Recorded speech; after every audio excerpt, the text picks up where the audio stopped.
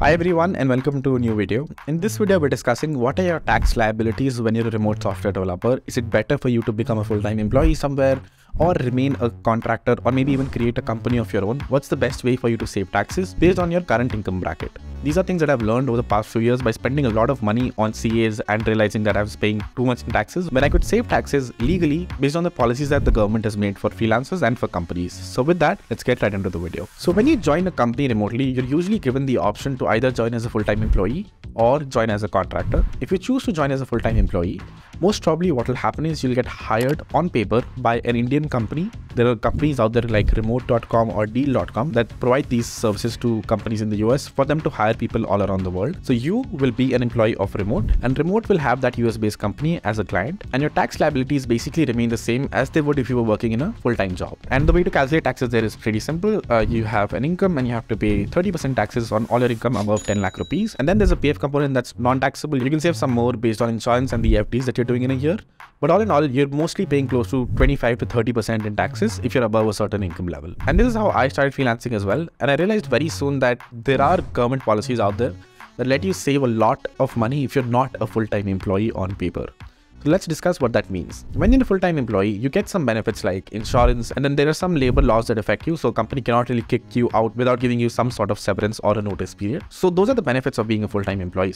But if there's something that the current layoffs and the market has shown us right now, it doesn't really matter if you're a full-time employee. When the time is bad, the probability of you getting laid off is basically the same. Doesn't really matter if you're a full-time employee or a contractor. And so even though it might feel like being a freelancer is not the most stable job in the world, uh, I sort of disagree. And I feel that the pros outweigh the cons by a lot here. And I'll show you how. When you're a freelancer, so you're not a full-time employee somewhere, the way that you get money is that you invoice the company in the US and then they send you a USD wire transfer into your Indian bank account. And if you're making less than 50 lakh rupees a year, there's a law called 44ADA that you can take benefit of and pay taxes only on 50% of your income. So if you're earning 50 lakh rupees, you only have to pay taxes as if you were earning 25 lakh rupees in a year. That's already a huge saving and it gets even better as you earn more and more.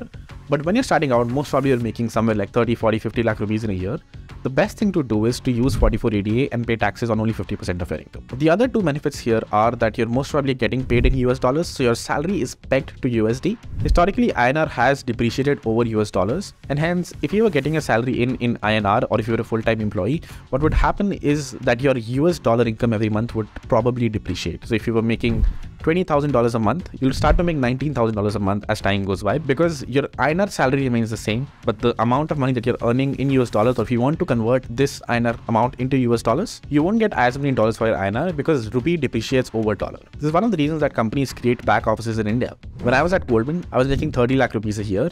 And if I would get a 10% increment, it would go up to 33 lakh rupees. But a lot of times in US dollar terms, it might just go down. And hence, it's the best to always keep your salary pegged to US dollars. The dollar is the global reserve currency, at least at the moment. And there are speculations and reasons around why that might change in the future. But right now, the rupee is depreciating really fast. So if you have an option, always keep your salary pegged to US dollars. Now, let's say your business is doing great and you're making more than 50 lakh rupees a year. What can you do now to save taxes? Now, 44ADA does not apply to you anymore, but you can still show expenses and only pay taxes on the net income that you get. So things like buying laptop or if you're going to visit your company in the US, all of these will be counted as expenses. So if you made one CR in a year and you ended up spending 20 lakh rupees on your business, you only have to pay taxes on the remaining 80 lakh rupees. So it's not as lucrative as 44ADA, but if you have expenses, if your expenses are more than 50%, then in that case it is. You're only paying taxes on the net amount of money that you make in the end. Compared to if you were working full time somewhere, you don't get any depreciation savings or expenses that you can show. You pay taxes basically on your full income. The third way, uh, this is something I haven't done uh, and I might not do in the future as well. But what you can do is you can create a company in a country that, that has very low taxes or almost zero taxes. For example, Singapore and Dubai are two companies that have really low taxes. And the company that you're billing in the US doesn't really care. All they need is like a tax identifier number. It doesn't matter if it's an Indian company, an Indian bank card of an individual, or if it's a Dubai based company. So what you can do is create a company in Dubai and get all your income there. The benefits here are that one, your money always remains pegged to US dollars because AED, the currency of Dubai, is pegged to USD. So you never really receive any hit of rupee depreciating over time. If you're getting your money in India, you can't keep your money in US dollars for more than two months. You eventually have to convert it into INR. And the process of converting it back into US dollars is very tedious. You can only convert up to 125k US dollars worth of Indian rupee. The government makes it really hard for you to keep your money pegged in US dollars. And hence, if you have a company that's not based out of India, it's a decent way for you to one, save a lot in taxes and two, keep your money pegged to the US dollar. Again, I don't do this. Uh, I don't recommend this This also only works if you're making a lot of money because the cost of setting up a company in these countries is pretty high. So there are pros and cons, but given a choice, I would probably never open a company in a different country unless I did not have any other option. Last but not the least, and this is probably the shadiest way to get money if you're working as a freelancer from India, is to get your income in USDC or some token that's pegged to US dollars. There are a lot of downsides to this approach and there are probably more downsides than upsides. Basically what you're doing is you're giving out a wallet address to the company and the company is not really giving you US dollars. They're giving you a token that's pegged to US dollars and eventually you receive this token or USDC into a decentralized wallet address of yours. The way to convert that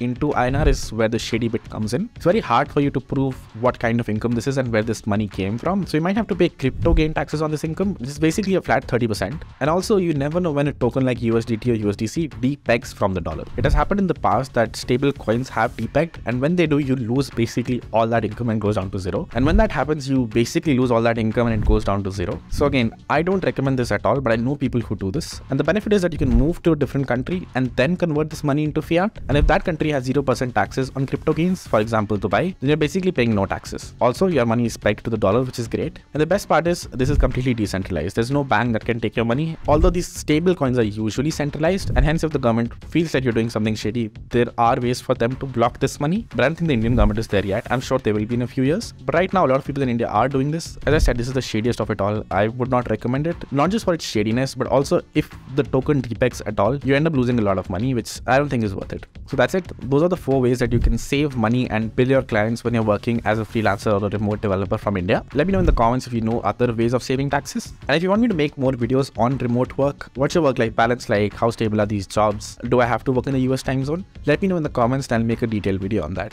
With that, let's end the video and I'll see you in the next one.